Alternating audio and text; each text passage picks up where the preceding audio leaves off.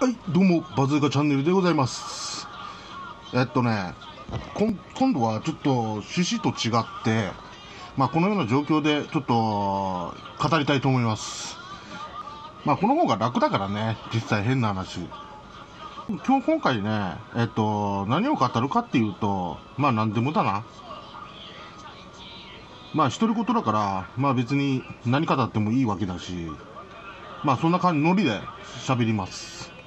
もうそろそろね、まあクリスマスも終わって、あとはもう、あれか、来年を待つだけ。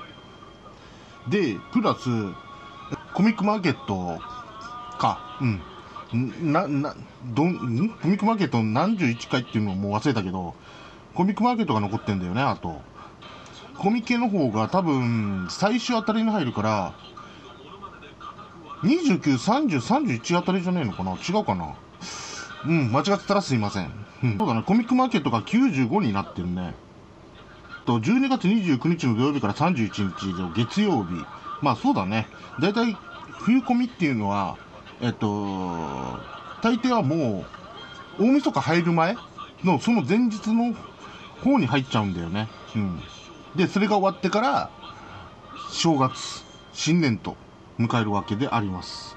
だからまあ、そういう人たちは、まあ、このコミケが終わらない限り、えっと、もう、新年を迎えられないっていう感じじゃねえのかな？うん。これが終わらないと新年じゃねえみたいな。うん。俺も昔そんな感じだったからさ、ちなみに。さあ、ちょっと話を戻して、まあ YouTube でもなんか結構いろいろあったみたいだよね、ほんと。まあ、めぐみ TV か。うん、まあこっちの方でもなんかあったみたいだけど、俺からして思うとね、なんていうのかな。まあ俺もそんなちゃっかりは見てないんだけど、ファルコンさんとメテオさんの脱退事件事件事件だね。うん。まあそういうのもあるんだけども。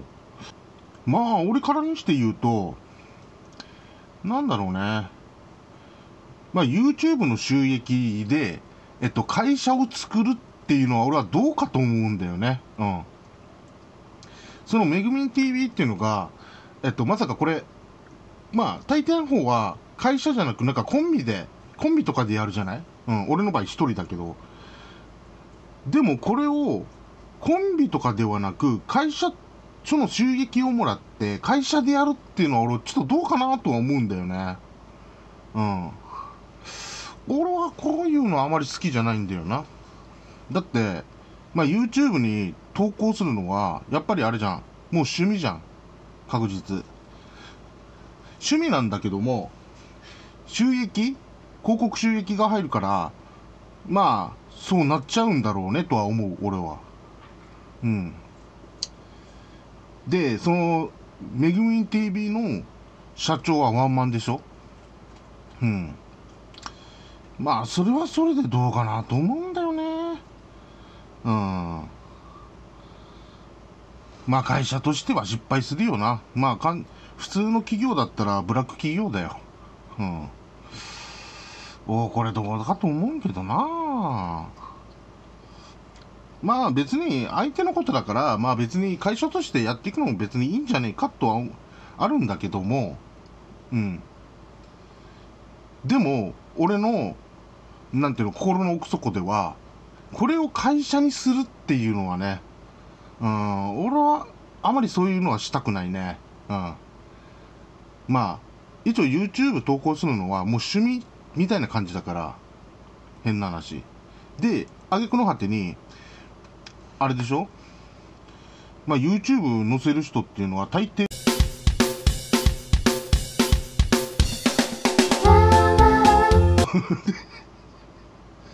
噛むな。っていうのが、主にあれだろ？うん。変な話するけど。まあ、でもそういう心がないと、普通にこうやって顔出しだとか、まあ、ていうか、それしかねえか。うん。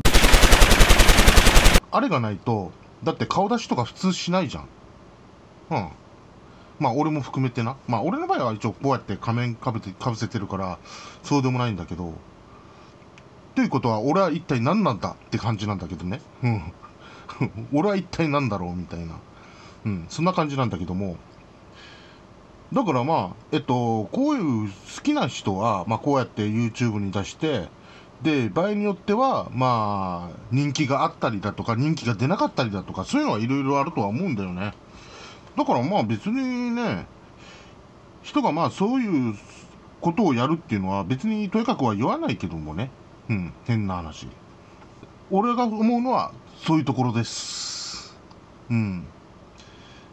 ただ、俺も中身の方までは知らないから、さすがに。でも、ちょっと動画のサムネイルのところを見たら、なんか、結構食い物系が多かったっていうのもあるからね。うん。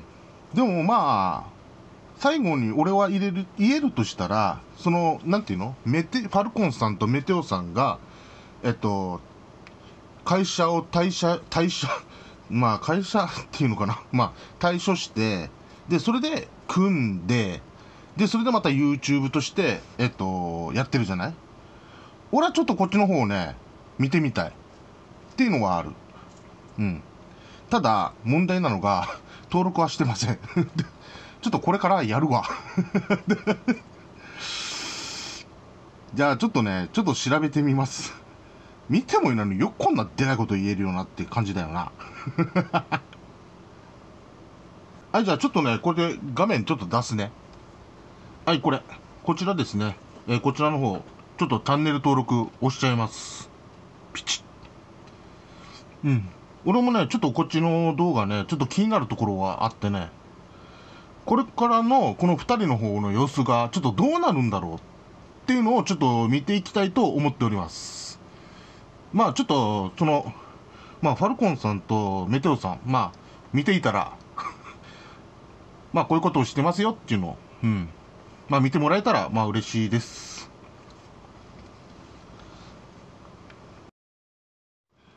さあ、えー、まだまだ続きよ。気になるってところが、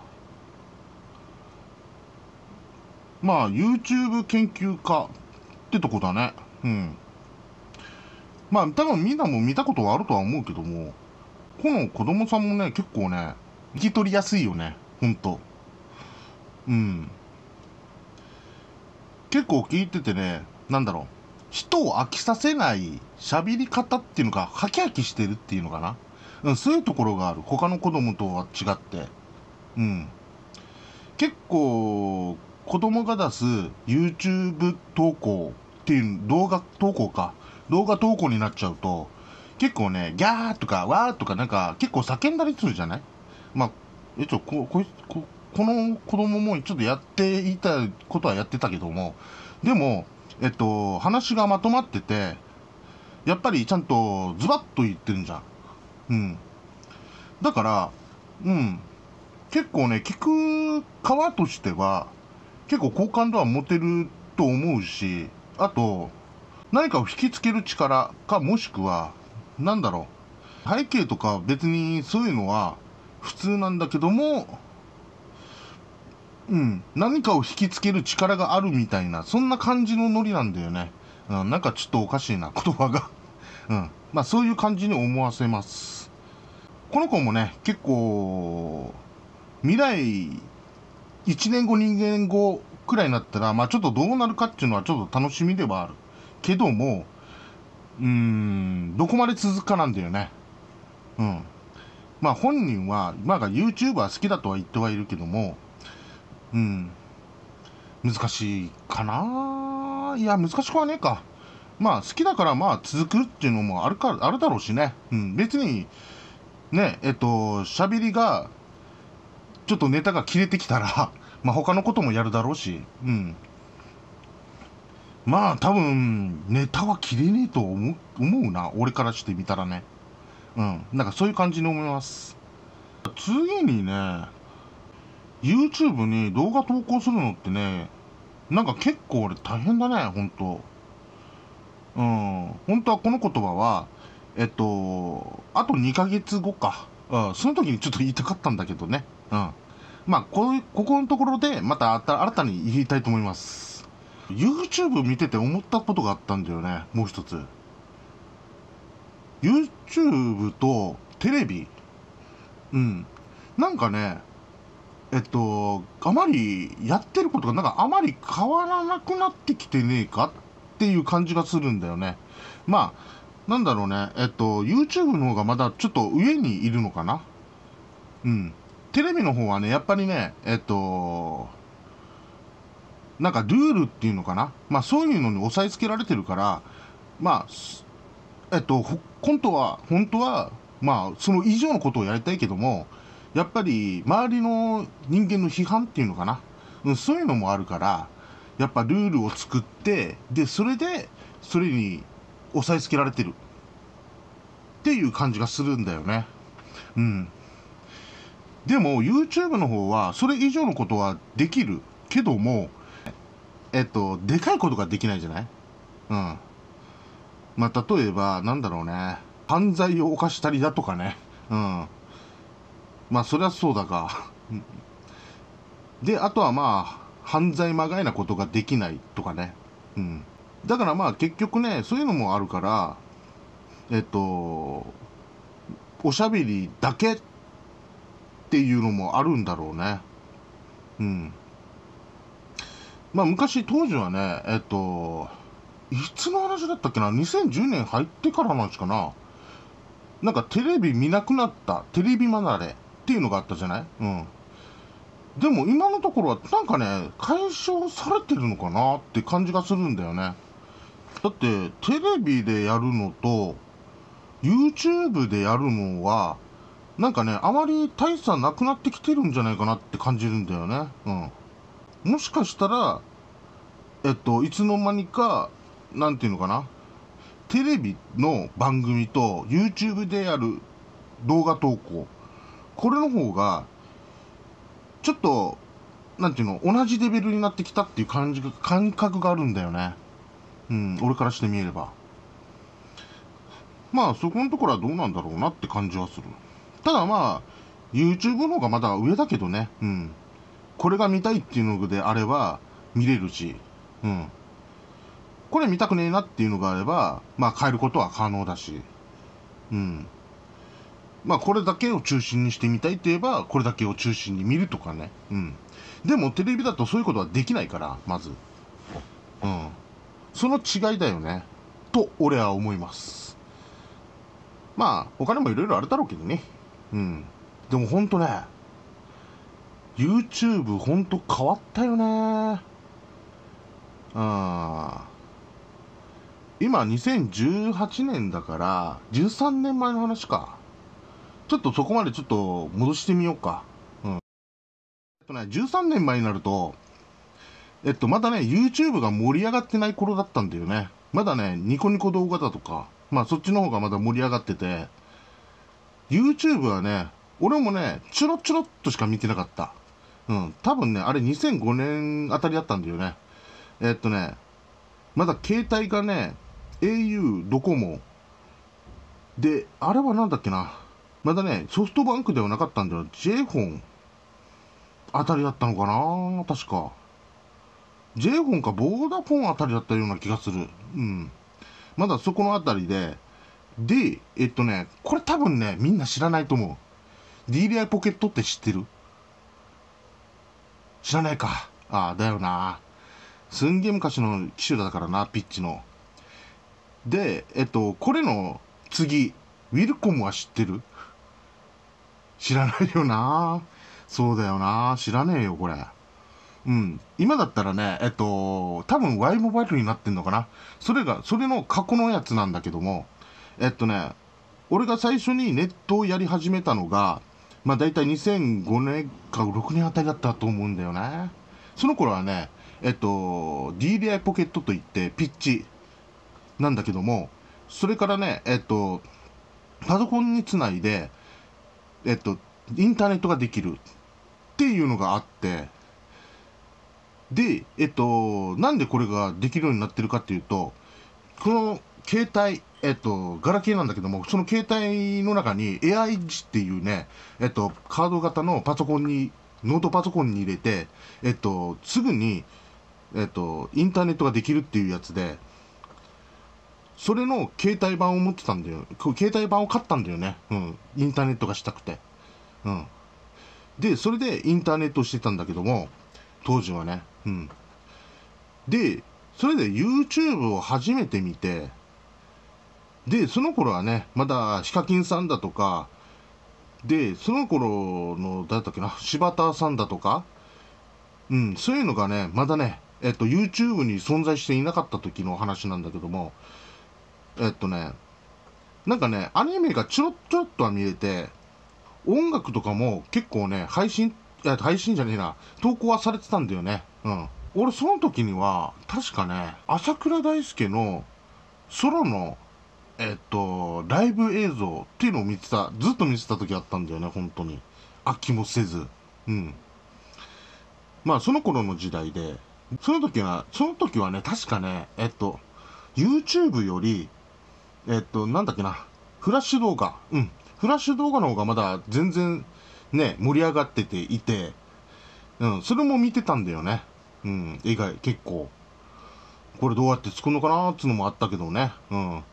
でも中身を見てみるとすごい、うん、複雑だから、うん、さすがに真似できねえと思って断念してはいたんだけど、うん、まあその頃の時代で、あとね、あ、もう一つが、あ、そうそうそう、著作権問題。うん。えっとね、2005年の時は、実はね、えっと、著作権問題っていうのが、インターネット上の中では、実は全然緩かった時代で、うん。もしかしたら、え例えば、チャギアスのライブ映像とか PV とかあるじゃない？あれを載せても、すぐにはね、えっと、通報とかされなかったんだよ。されなかった時代だったんだよね、実は。うん。まだまだ全然、出来たてのほやほやだったため。うん。で、そういう時代でもあったから、結構ね、本当その頃はもう YouTube では結構、なんかいろんな動画をを載せた時があったんだよね。もう今はね、えっと、著作権の方もね、結構厳しくなってきたって言った方がいいかな。うん、そういうことになってたか、なってるから、まあ結構いろいろ消えたりだとか、まあギリギリの線で出してるだとか、まあそういうのがあったんだけども、今はね、うん、昔はね、そうではなかったから、うん。だから結構ね、うん、やりたい放題でもあったんだよね、実は YouTube。ただ、問題は、えっと、広告収入がまたその頃はなかった。できたのがね、確か、2010年とか11年ぐらいだったのかな。うん、確かね。その頃に、えっと、動画を押したら普通に画面、こう、画面が出るじゃない？普通のね、うん、動画投稿したやつの。それではなく、いきなり広告が入るんだよね。うん、それができてから、え、何これ？とか思ってて、最初はね。え、なん、な、なんで？え、え、え？とか言って、で、その次に動画投稿されてたやつが映し出すっていうね。うん、その頃、その頃だったと思うんだよね。うん、俺はちょっとこれびっくりした。何これっていう まあ、それまではね、プログかな？うん。パソコンとかに、あ、じゃない、インターネットとかに入ってる、なんか、小さいやつの広告あるじゃない？一応あれアフ、アフリエイトって言うんだけども、えっと、そういうところでしか、まあ、宣伝ができなかったっていうのもあったんだよね。そこしか、まあ、載せてなかったのに、と思って、で、それで YouTube にも載せるようになった。っていうのが、まあちょっとびっくりしたね、その頃は。だからまあ、YouTube で広告収入ができたのが、いつの間にかだったからさ、ほんと。昔は本当になかった。うん。見放題だった。本当に。でも、落とし穴ではないか。まあでも、昔でも結構面白いところは面白かったからね、YouTube もね。うん。俺あまり見てなかったけど。まあどっちかっていうと、ニコニコ動画を見てたな、結構。うん。投稿はしなかったけどね、まだその頃は。まあでも、こっからね、まあ途中でか、多分もう2010年か9年あたりか、もうスマホができたのが、最初が、最初に出てきたのが iPhone か。うん。あ、間違ってねえな。うん。iPhone なんだけども、えっと、そっからね、えっと、iPhone に続けてスマホができちゃって、で、そこ、そのスマホから、えっと、なんだろう。YouTube もちゃんと見れるようになって、しかも、それでカメラの機能もついてるからカメラで撮って、で、それでそのまま動画投稿っていうのができるように確立されちゃってるから、えっと、まあ、ここまで登録して動画投稿する人が増えちゃったんだと思うんだよね。うん。だから、まあ、子供でもスマホを持ってりゃ一発でできるから、別にパソコンでもいいや。うん。でもパソコンの方は、カメラ機能とマイク機能か。うん。その二つがないと多分難しいとは思うけども、でもスマホの方は一発でこそるができるから、うん。だからまあ、ここまで増えちゃったんだろうなっつうのもあるんだろうけどね。でもね、えっと、2005年の当時の方は結構ね、みんなインターネットを使って、で、それで世界に発信してるっていう意識がなかったから、まあ結構ね、問題とかいろいろあったんだよね。うん。例えば学校の裏サイトだとかね。うん。結構こういうのはあったぞ。で、それで、えっと、学校の裏サイトで、まあこういう文句が書かれていたから、みたいな、それで、なんだろう、問題となって、で、挙句の果てにね、まあ、2チャンネルだとか、まあ、他の学校裏サイトもそうなのかな。うん。文字を、まあ、文章を載せるとするじゃん。文章を載せたら必ず下に本名が入るっていう、うん、そういうことにしようみたいな、うん、そういう問題もあったんだよね。まあ、それはもう、まあ、プライバシーの問題だったのかなちょっとよくわかんないけどね。うん。いきなり、まあ、それ配信になっちゃったけどね。さすがに。うん。配信になったと思う。うん、そういうのもあったからね。うん。で、今に至るみたいな。うん。まあ、俺もね、動画投稿しててね。まあ、今、これでよかったのかなっていうのが、ちょっとよくわかんないんだよね。ほんと。うん。まあ、やっぱ俺もさ、お金がないからさ、さすがに。うん。今、これでね、稼ぎたいなっていうのはある。でも、なかなかね、面白いものがなかなか作れないと思うんだよね。うん。うん。でも、お金があったら、俺の、俺としては、えっと、うまく面白い動画を作れるかどうかが心配。うん。俺だってね、えっと、うまく面白いもんを作りたいとは思ってるけども、うん、どういうところが、まあ、相手に受けるんだろうっていうのがね、うん。まあ、よくわからないって言った方がいいのかな。うん。あ、これはやったら、ちょっと面白いもんができるだろうとは思うけども、でも作ってみたらいざさ、えっと、まあ、相手にしたら面白くねえな、しょぼいなって感じることもあるからさ、うん、そこの方がよくわからない。だったら、素の俺を見せた方がいいのかなっていうのもあるんだけどね。うん。まあ、そういう感じです。なかなかと話していましたが、うん。これからね、動画編集いたします。ではみんな、グッバイ